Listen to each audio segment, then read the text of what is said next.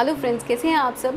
आज मैं जो टिप लेकर आई हूँ, वो पेरेंट्स के लिए लेकर आई हूँ, बच्चों के लिए लेकर आई हूँ। यानी कि जो पेरेंट्स बहुत परेशान हैं अपने बच्चों से कि वो पढ़ाई नहीं कर पाते या फोकस नहीं कर पाते, उनके बच्चे को कंसंट्रेशन नहीं बन पाता तो उन सब के लिए ये प्रॉब्लम है। उन सब के लिए छोटी सी एक टिप लेकर आई हूँ। उन सब की जो प्रॉब्लम्स हैं, वो सॉल्व हो जाएँगी। इनफैक्ट अगर मेरा वीडियो बच्चे देख रहे हैं तो प्लीज़ आप ध्यान से सुनिए सुनिए सारे बच्चे कि किस तरीके से आप अपने कंसंट्रेशन को बढ़ा सकते हैं, अपने फोकस को बढ़ा सकते हैं अपनी पढ़ाई में। पढ़ाई सबके लिए ज़रूरी है। तो अभी आपको पढ़ाई करने के लिए छोटी सी टिप मैं आपको बताने जा रही हूँ तो आप लोग वो ज़रूर करेगा। और पेरेंट्स अगर बच्चे छोटे हैं और अगर पेरेंट्स देख रहे हैं तो प्लीज़ आप पेरेंट्स आप भी मेरे वीडियो को एंड तक देखें और मैं आपको एक छोटी सी टिप बताऊँगी, वो ज़रूर आपके काम आएगी। सबसे पहले आपको देखना है कि आपके बच्चे किस तरफ़ फेस करके पढ़ रहे हैं। यानी कि उनका जो पढ़ते हैं, जब बुक्स पढ़ते हैं तो उनका जो फेस होता है, वो किस तरफ़ होता है?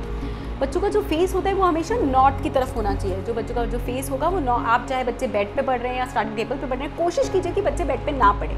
स्टडी टेबल पे पढ़े। और अगर स्टडी टेबल उनकी नॉर्थ फेसिंग होगी, यानी कि नॉर्थ या ईस्ट दिशा यानी कि दो दिशा मैं आपको बता रही हूँ, दो जोन आप, में से कोई भी जोन को आप चूज़ करके ना आप उन दोनों दिशाओं में बच्चों को बोलिए कि पढ़ने के लिए। और अगर बच्चे देख रहे हैं तो प्लीज़ बच्चों नॉर्थ और ईस्ट जोन में आपने फेस करके पढ़ना है। अगर आप लोग ऐसा करेंगे, आपके बच्चे ऐसा करेंगे तो उनका जो कॉन्सेंट्रेशन है, वो बहुत स्ट्रांग हो जाएगा और बच्चों को याद बहुत जल्दी हो जाएगा।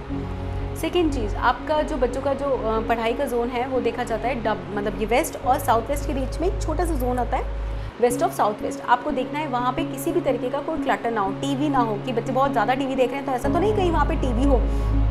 तो टीवी आपने देखना है कि टीवी ना हो वहाँ पर। इसके बाद वहाँ पे बच्चों के खिलौने टॉयज़ बैडमिंटन और ये सब रैकेट वगैरह, ये सब ना रखो। अगर जहाँ जो चीज़ वहाँ रखी होगी ना, बच्चों के दिमाग में वही चलने वाला है। आप ध्यान दीजिए, बहुत ध्यान से देखिए अपने घर में वेस्ट और साउथ वेस्ट के बीच में वेस्ट ऑफ़ साउथ वेस्ट में क्या पड़ा है आपके घर।